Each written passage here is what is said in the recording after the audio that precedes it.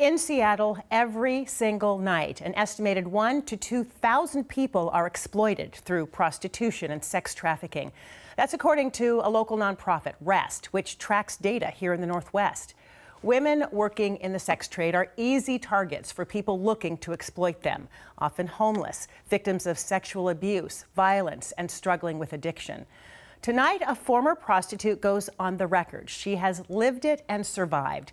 We're not naming her or showing her face, and we do want to warn you that what you're about to hear is not appropriate for young audiences.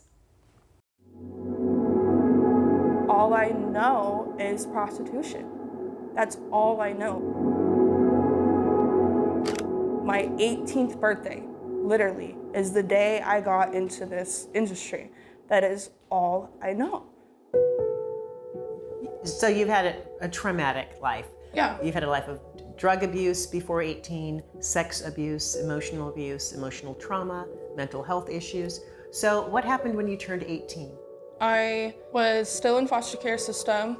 Um, I was still on drugs very heavily. I was sleeping outside. I was homeless. I figured, why not go and make money doing something I'm already doing than be a drug addict on the streets. Tell me about a typical night on the street for you as a prostitute? Usually I'm in my car or um, in a hotel room and I'm seeing Johns left to right, back to back. And the average night, I could make up to a $1,000. So to make the money that I had to make for my pimps, I'm seeing at least 10 Johns a day. Explain why that made sense to you at the time versus being an independent commercial it, sex worker? It made sense to me because I felt like my family gave up on me a long time ago. And so when I got with the pimp, I felt like, well, if I give him all my money, like they say that's what you're supposed to do, he's gonna take care of me, he's gonna protect me, he's gonna love me, and he's gonna show me how to be a business person. That is not what happened. That is not what happened. You've seen a lot of violence yes. working as a prostitute. Tell us about what has happened to you. I would do something that would trigger him, and he would abuse me to the point where he would black out and there was no coming out of it.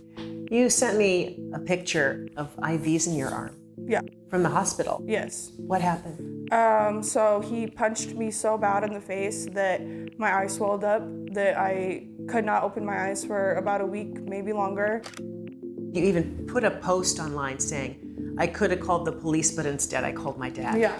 And from there, the police started watching me. They were investigating, but they were concerned for my safety. They got me in a sting operation. They really broke down everything to me. They, they really did. This man who sat there for six and a half years, like I could honestly start crying, took my money that I sat there and risked my life for and did nothing for me.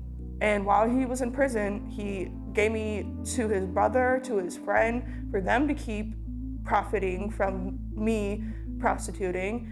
And it's it's just it's pathetic. That is trafficking. Yeah.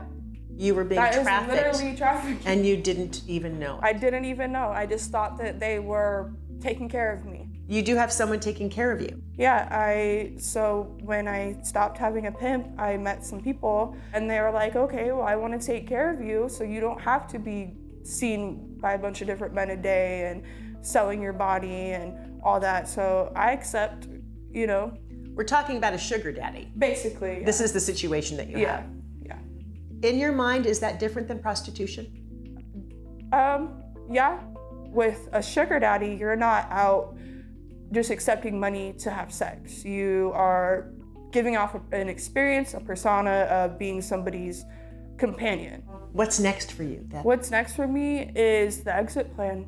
My exit plan is really um, hoping to have enough money of my own saved up and invest in a business, invest in myself, and not have to come back to this life. No kid wakes up at five years old and wants to be a prostitute. No kid wakes up and just wants to be a bad person, uh, you know? So. I want to stop you because being a prostitute does not make you a bad person. Yeah. Yeah. I, you are I, not I a bad person. That. Yeah. For young women who are involved in commercial sex work, prostitution, or being trafficked, what's your message to them? Don't be afraid to ask for help. Don't be afraid to walk away. The money is not worth it. I want to thank her for her courage in coming forward with her story and tell you that help is available across Western Washington. These are just some of the agencies that you or someone you may know can call for help.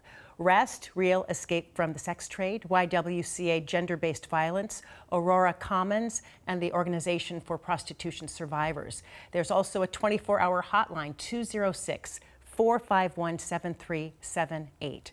For more information, text us. Text the word escape to 206 448 4545. We will send you a link with all of this information. So it's not